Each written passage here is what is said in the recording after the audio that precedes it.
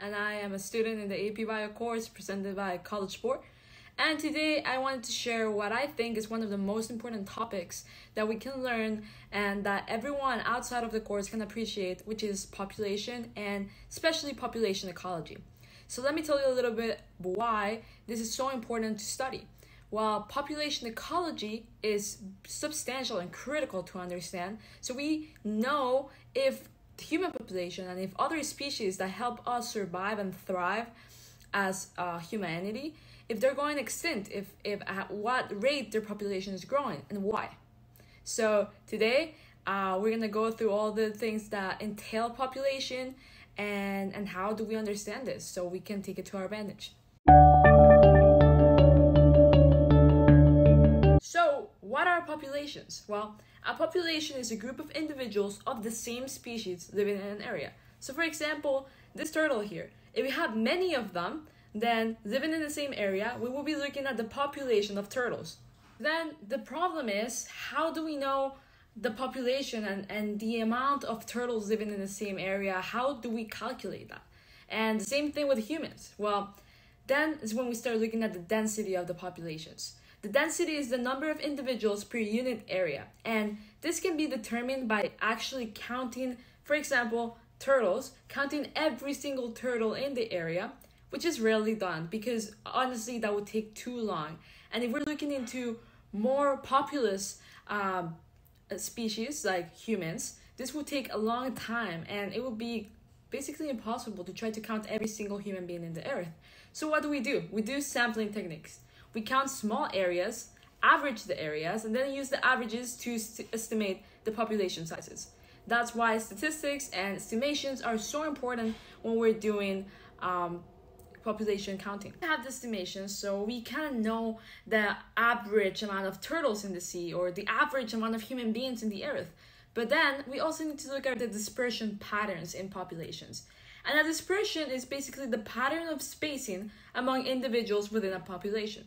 For example, we could have a clump dispersion, which I'm going to put here. And a clump dispersion is when individuals gather in patches. Then we have a uniform dispersion, which is when evenly spaced individuals um, settle like that in a population. And this could be due to territoriality. So, for example, if we have a species that is very territorial and they really want to take care of their own or of their own land or their resources, we're gonna have them spaced out so they don't clash with each other. And then we have random. This is unpredictable spacing and it's usually not common. Because up to this point, we were looking at population in a very static form. But we have to remember that population itself is affected by births and deaths, also by immigration and emigration. And that's when we get demography. And demography is the study of the vital statistics of populations and how they change over time. We cannot just look at population and the dispersion and the density without taking into consideration that people will die and animals will die and people will be born and animals will be born and they will move places looking for better opportunities or just simply to survive.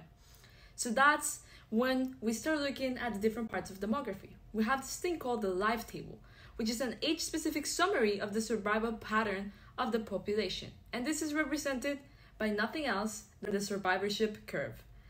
Curves. So let's talk about the different types of survivorship curves. For example, we have type 1, which is low death rate during the middle and early stages of life. And then towards the later stages of life, we have the higher death rate. This would be, for example, with humans. We also have type 2 curves, and this is the constant death rate over the lifespan of an organism. This is usually seen in birds. Then we have the type 3 curve, and this is when there's a high death rate early in life, for example with trees or plants when there's seeds. And then there's a lower death rate once they survive that early life stage and they finally become a plant or a tree. So you may be wondering, how do we necessarily know the change in population size? Well, lucky for you, we have a formula. So whenever you want to know the rate of increase per capita, you can use this formula. This. So here we have the change in population size over the change in time equals the birth rates minus the death rates. So we have two growth models. One is the exponential growth, and the other one is the logistic growth. So then we have the exponential growth. For example, let's say we're looking at Luna's population.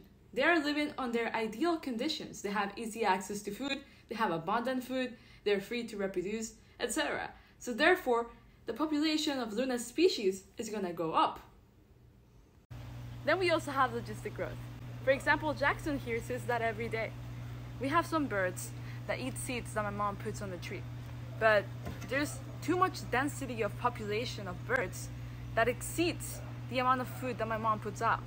If this is the only source of food that those birds have, then eventually we're to see a logistic growth in which they are going to increase until there's no more resources they can use. And that's the bad thing about logistic growth. There's to be a point where some sort of factor is to make sure that the population growth starts decreasing.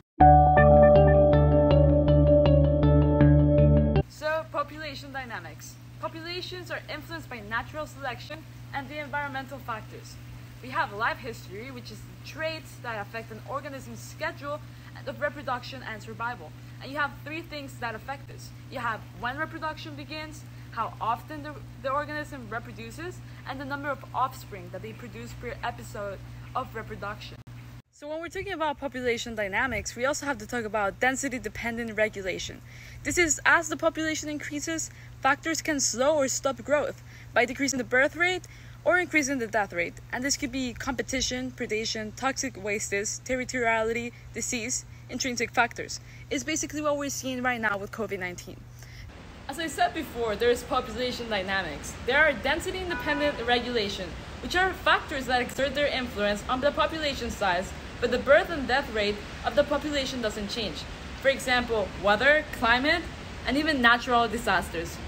Ecology is something that you just learn in your bio class. It's something that you see every single day. So until then, and goodbye.